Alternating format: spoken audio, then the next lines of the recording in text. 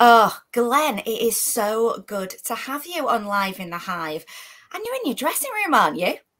Uh, I'm actually in the company manager's office today instead. Yeah. So um, thought I'd save. I wouldn't show you where the magic happens just yet. Oh, okay. is, is that only for the special people? It's very messy, very messy. My dressing room. It's carnage in there. It's covered in blood and confetti, and yeah, we've got two weeks worth in there now. oh my goodness! Well, I can imagine. I came to see the show last week. It is absolutely phenomenal. A phenomenal, more, more. Can't even get my words out. I'm that excited. um, of course, I'm talking about Bat Out of Hell, the musical. You're at the Opera House in Manchester. How does it feel to be starring in this show as the rebel Strat? You're the leading man, Glenn. I am, yeah. I still pinch myself every day, really.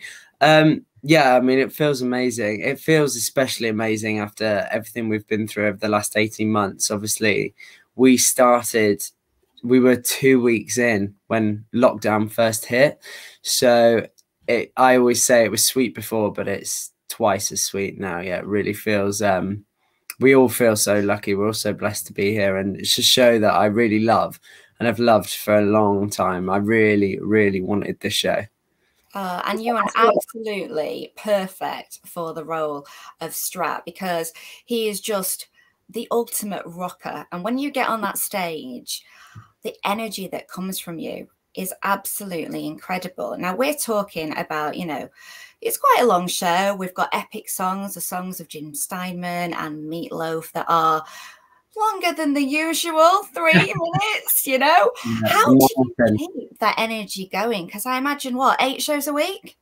Uh, yeah, I do six. Yeah, I do six shows a week, but yeah, eight, eight, seven shows of the cast do. But yeah, it is full on. I say, um, "Bat of Hell," the actual song as the end of that one is a marathon. We always say it's a marathon.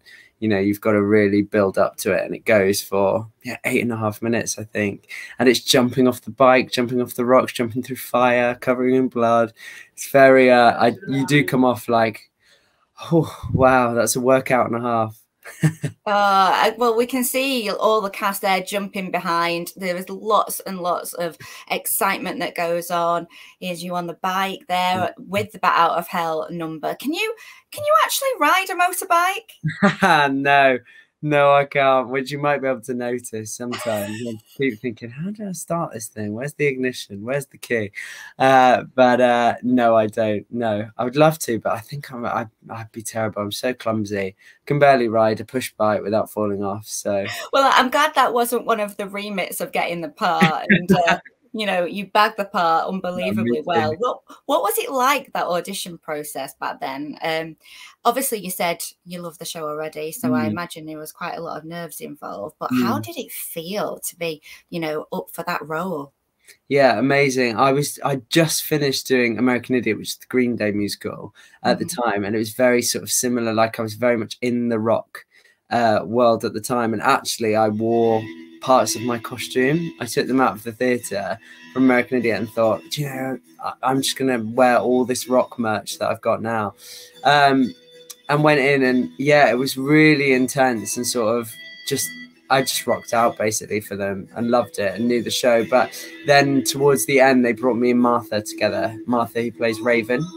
And uh, we sang for Crying Out Loud, which you'd have seen in the show. We did that together uh, on the very last day for all the producers, all the, the director, the MD, the musical supervisor. And I think when we came together was the first time I thought, actually, I feel like this is right, this combo. Obviously, the whole time I've been thinking, I'm not going to get this. Like, there's amazing people in for it. But when we came together, I thought the chemistry between us felt really good. We both left and were like, wow, actually, that was that was quite special to have in an audition room. Uh, You've got to have that fusion because mm. that is really central to the story. You know, you've mm. got Strat, he's the rebel, he's the leader of the Lost Boys, the Lost. I say the Lost Boys because it really does resonate like, yeah, you know, this Peter Pan yeah. feel about it, hasn't it, really? Um, and you being, you know, the Peter Pan, Forever Young. Um, and Martha as well, playing Raven, is your love interest, mm. who is from this straight laced family. She's got this draconian kind of dad, Falco, mm. um, and this Sloane, I've got to say, played by Sharon Sexton, is just the most hilarious character oh, as kind of in, in the in the role, Glenn. Um, but it does rely on those sparks flying between you mm. and Martha as Raven, and and if you've got that, I suppose that was just it. Yeah, there's a lot of trust between the two of you, and sort of the physical aspect of the show is that if one when we do a number they'll say if one moves the other one has to counter it. Like you're always connected throughout. So it's quite you have to really sort of trust each other and get on with each other i think to sort of create that and have that connection which we did have from sort of as soon as we met i think. So i think that's quite special to the show yeah now, I know I tried to describe the show then. It is quite a difficult show to describe, mm, though, because it's kind of like a little bit of everything. I mean, there's so much drama in there, there's a lot of humor. How would you describe it for anyone who's not come to see it yet?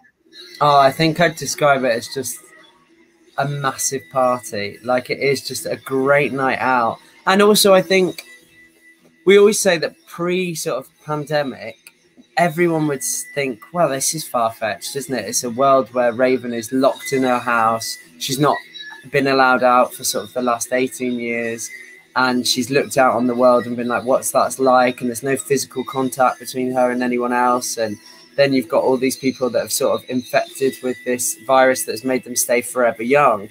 But now we, when we came to rehearsals this time, I think with Sharon and Rob, that were like, suddenly it doesn't feel so far fetched, does it? Suddenly we're like, actually, this has happened. so um, it's it's not gone the way that we all stay forever young, if only. But uh, but it's but it's sort of not as as out there anymore. So story wise, it sort of rings a lot truer, I think, than it than it ever did.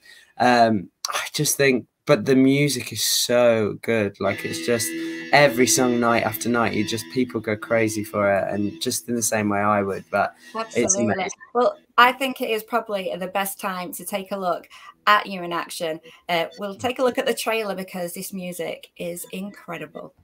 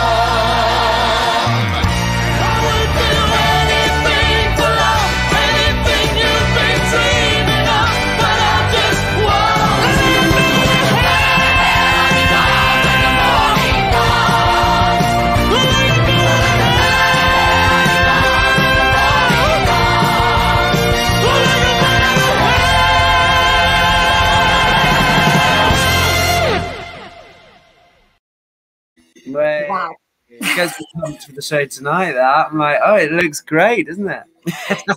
Fabulous, absolutely fantastic. You mentioned kind of the fans there. Um, you must have super Bat fans who come and yeah. see it night after night, yeah.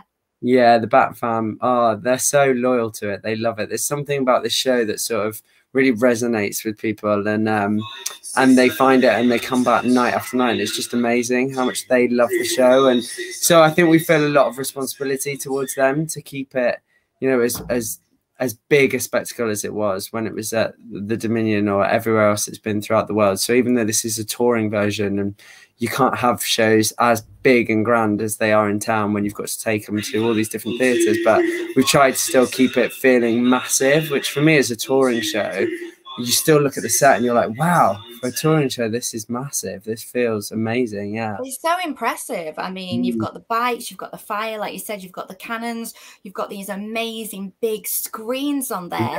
and an on-stage camera person that kind of mm. captures the action in it. And it almost feels like a music video at some times. Yeah. It is. It's as epic as Steinman and, and Meatloaf songs. It, it really, yeah. really is. And talking about Jim Steinman, I know he passed in the earlier this year, and so this tour is dedicated to him, isn't it? Um, yeah. that that must be quite difficult for some of the people on tour because I imagine did you meet Jim Steinman? Did because you've got the original cast members Sharon Sexton, yeah. and Rob Falco, uh, Rob Rob Fowler who plays Falco. um, yeah. So uh, has that been more poignant?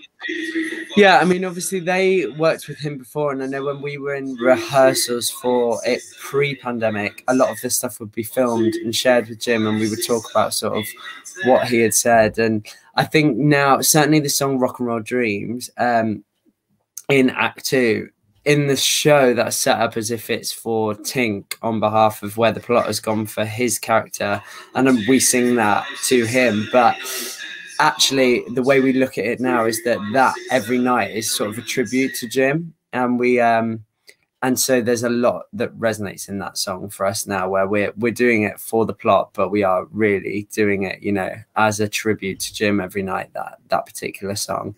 And uh you know just trying to stay as true to his music as possible now rather than rather than you know a lot of shows you'll go and see people have the dots but they will ad lib around the music. We're very much now trying to be like this is how jim intended it to be sung. This is how we'll sing it night after night for him you know. And what a legacy I mean, yeah, the songs, the show. Uh, mm. I heard as well, and, and I think you, you just mentioned it then about he used to watch like streams of it every night, yeah. you know, so it was just his baby completely. Yeah, the musical was always the dream before sort of I mean that was how it became Bat Out of Hell. He the musical was called The Dream Engine and he lost the rights to the script of Peter Pan at the time. So they had to release it as Bat Out of Hell concept album, with Meatloaf, but originally it was always intended. That's why the songs are so theatrical. He'd always sort of intended to put them in a musical about Peter Pan, and so they always say at least you know before he went, his dream was finally a reality because it's like, I ah, God, it must be in the sixties, seventies when that happened. I think actually someone shared with us the original audition post that he'd put out way back when, looking for the cast for the show and uh, it was incredible. Yeah, absolutely amazing. And he'd put on there, you know, I don't want this to be one of those boring musicals that are currently on Broadway. You know, and he'd write this whole thing about what he intended, and yeah, so I think we're really trying to do this for him. Yeah. If that doesn't give the message to people out there to never give up, I don't know what does. Yeah, yeah, yeah. yeah. Absolutely. I mean, now, the, the musical, his legacy, amazing. Have you had any words from Meatloaf? No, but I know that obviously Sharon and Rob have, and he he loved it way back when. Yeah, when it was in town, I know that he had said to them he didn't know sort of how they were going to make a song like uh, anything for love. You know, I would do anything for love, but I won't do that he didn't know how they were going to put that into a show. And then we came and saw it, it was like, wow, that just made sense, you know, the, exactly the way you sort of made sense of those songs. I think these songs, they lend so well to theatre. It doesn't feel like they're forced into it. They do have a narrative to them anyway as songs. So I think, yeah, I think it was impressive for him to see that. Oh, 100%, 100%. It must be good for you being back in the north though. I know you trained at LIPA, didn't you? So is it is it great to kind of see where you first started out? Oh, I love it up here. All of this sort of M62 corridor for me is like Manchester, Leeds, Liverpool. It's all sort of this is where I feel most comfortable. Um, I did try and stay in Liverpool for as long as possible, and then I moved to Leeds for a bit, and I lived in Manchester for a bit. But eventually, I just had to go. I was spending so much in trains that I thought I've just got to go down now. Uh, but yeah, this does. These are the venues that I get most excited about. Always sort of doing Manchester, Liverpool. I love doing Sheffield as well. They love their rock shows, sort of that end. So um, yeah, for me, the North, I'm showing everyone. have great audiences. We yeah, do. you do. Everyone's so much more vocal here and I love that. Everyone's friendly, aren't they? Really friendly up north. Well, I know that you're on stage tonight. That's why we can't have you live in the hive. And I'm loving the fact we're getting some of the noise from the speakers, and we've got this feeling that it's all happening in the theatre. You know, wow. Um, have you got any pre-show ritual that you do, or you or the cast do? Because I always wonder, you know, what it's like just before you kind of go on, and how you get mm. that level of energy. Oh, do you know what? I um we'll do a cast warm up together and we'll all do that and we'll get pumped. And then in my dressing room, I will play Bon Jovi before the show always because that's sort of they're my favorite band.